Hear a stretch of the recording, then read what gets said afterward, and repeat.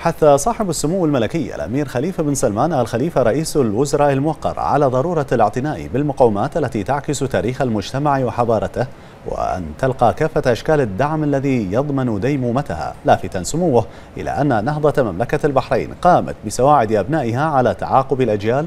لذا يجب أن توثق هذه الأدوار التي أضاءت التاريخ الوطني بإسهاماتها الفاعلة. مشيرا سموه إلى أن الحكومة تعتني بالتراث وموروثات الآباء والأجداد وتحرص على العناية بهما ونقلهما للأجيال لتتعرف على تاريخها وتتمسك بأصالتها خاصة ونحن في عالم متسارع في تطوره وتقدمه. ما يتطلب معه تبني المبادرات التي تكفل الحفاظ على هويتنا وتاريخنا وحضارتنا. جاء ذلك خلال استقبال صاحب السمو الملكي رئيس الوزراء لعدد من أفراد العائلة المالكة الكريمة والمسؤولين بالمملكة حيث تبادل سموه مع الحضور التهاني بمناسبة عيد الفطر المبارك. فيما استذكر صاحب السمو الملكي رئيس الوزراء إسهامات سمو الشيخ عبد الله بن خالد آل خليفة في المجالات العدلية والشؤون الإسلامية والبلدية وما قدمه من عطاء كبير لوطنه وأمته. فقد هنأ سموه مع الشيخ عبد الرحمن بن محمد بن راشد آل خليفة بمناسبة صدور الأمر الملكي السامي بتعيينه رئيسا للمجلس الأعلى للشؤون الإسلامية مؤكدا سموه أنه خير خلف لخير سلف.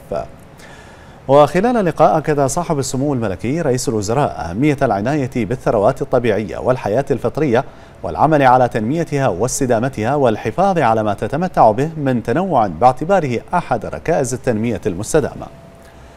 ونوه سموه إلى أن البحرين تبذل جهودا متواصلة للحفاظ على البيئة والثروات الطبيعية جنبا إلى جنب مع جهودها للتنمية والعمران.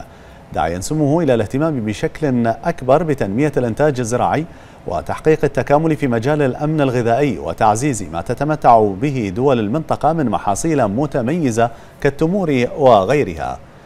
وأكد سموه ضرورة الحفاظ على الهوية الوطنية والنسيج الاجتماعي من خلال إيحاء القيم والعادات الأصيلة التي كانت تنبض بها الأحياء والفرجان في كافة مناطق المملكة. وقال سموه إن قيم التواصل تشكل نهجا بحرينيا أصيلا. توارثناه عن الآباء والأجداد وعلينا التمسك به بالشكل الذي يسهم في الحفاظ على الهوية الوطنية ويعزز من التماسك بين أبناء المجتمع الواحد.